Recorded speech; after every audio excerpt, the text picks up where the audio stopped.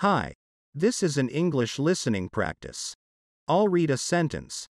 Please fill the blank space with a word. While Sosnick was passionate about baseball, he was athletically unskilled as a player.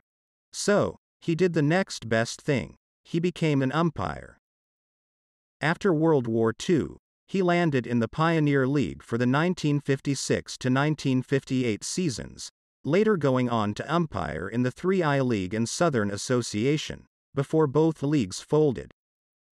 With that, his dream of becoming a major league umpire died.